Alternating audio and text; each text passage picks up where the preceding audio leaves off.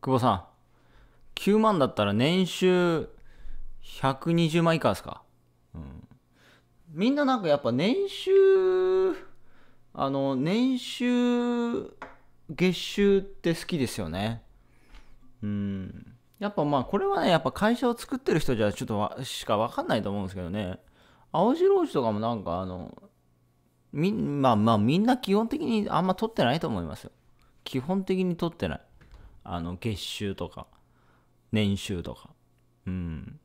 だってそそっちで取れば取るほど所得税がかかるわけですから だ経費で使った方がいいし。うん。そう。だからもう見たくれですよね。な、なんかの年収書く欄の多分、なんか見てくれというか、なんかの審査というか、まあそういうところで、あの年収書かないといけないところの、あれじゃないかなとは思うんですよね。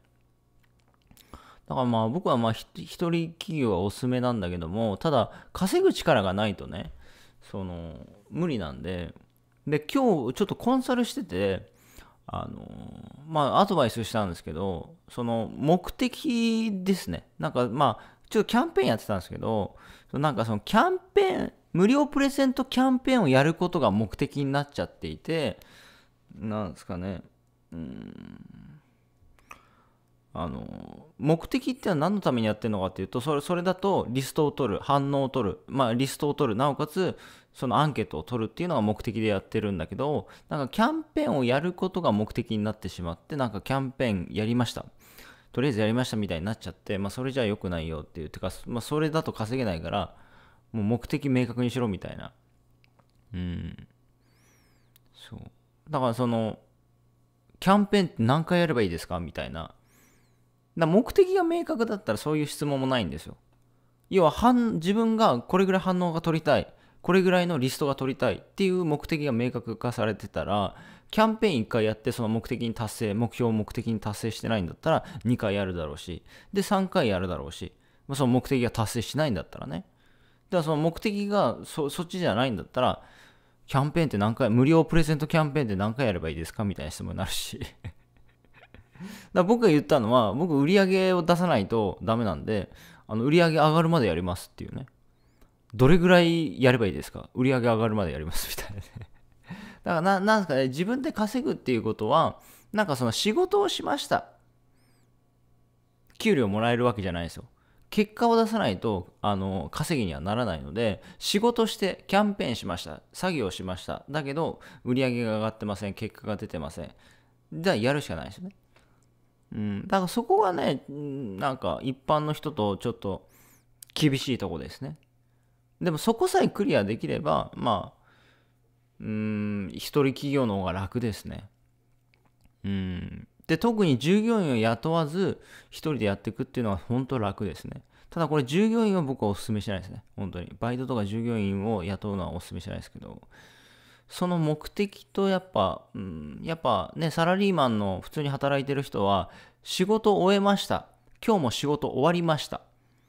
定時で、定時で終わりました。定時で8時間勤務しました。終わりました。部長が帰れないから、部長が帰らないから僕たち帰りづらいんですよ、みたいなね。社長が帰らないから僕たち帰りづらいんですよ、みたいな。だからなんか、この時間仕事しました。終わりみたいなね。いや、売り上げ上がってねえからやってんだろうみたいな話なんだけど だからなんかね、そこがやっぱね、うん、やっぱ一般の人だとそうなっちゃうんだよね。うん、だそこが難しいとこなんですよね。だからそこが本当に、だからまあコンサルでも言ったんですけど、そこす、そこ肝だよっていう。てかその考え方じゃないと絶対稼げないよっていうことを言ったんですけど。うん。動画撮りました。やりました。でみたいなね何本やればいいですか？みたいなね。久保さん、動画って毎日投稿した方がいいですか？メルマガって毎日や発信した方がいいですか？知らねえよと。別に月1回でもいいし、1年に1回でもいいし、それでも売り上げ目標達成してるんだったらそれでいいじゃないですか。別に。なんかね、やっぱね、なんすかね、やっぱそこが、なんかもう、僕はもうその感覚なくなっちゃってる部分はあるんで、一般のその質問に対しての、なんだろうなもうやめてくれよって思っちゃう部分あるんですけどね。それじゃ無理でそうそういう考え方だったらもうやめた方がいいよと。自分で稼げないからもう給料もらう生活した方がいいよっていう話ですね。ね億万長者合宿に参加したら億万長者になれるんですかみたいなね。うん。でもありがたいですよね。みんなほとんどそういう考え方ばっかだから勝て、そういう考え方ばっかだから勝てるっていうとこなんで。はい、いってらっしゃい。